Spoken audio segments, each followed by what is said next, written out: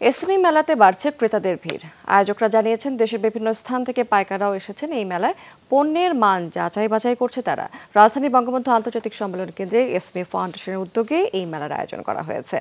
প্রতিদিন সকাল দশটা থেকে রাত নয়টা পর্যন্ত মেলা প্রাঙ্গণে দর্শনার্থীদের জন্য উন্মুক্ত রাখা হয়েছে।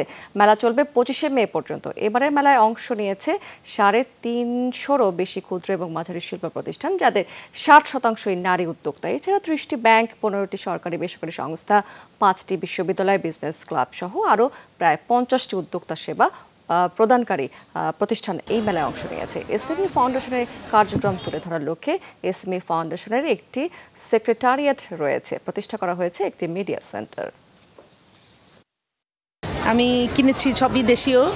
খুলনা একটা স্টল থেকে প্যাচওয়ার্কের আমি জামা কিনেছি মেয়ের জন্য শাড়ি কিনেছি। এই নারী সমাজ বিশেষ করে তারা যে উদ্যোক্তা শ্রেণি এবং অ্যাট দ্য সেম টাইম পরিশ্রমের মাধ্যমে দেশ এবং জাতিকে এগিয়ে নিয়ে যাওয়ার জন্য তাদের যে প্রচেষ্টা, এটা আমার আসলে খুব ভালো লাগল।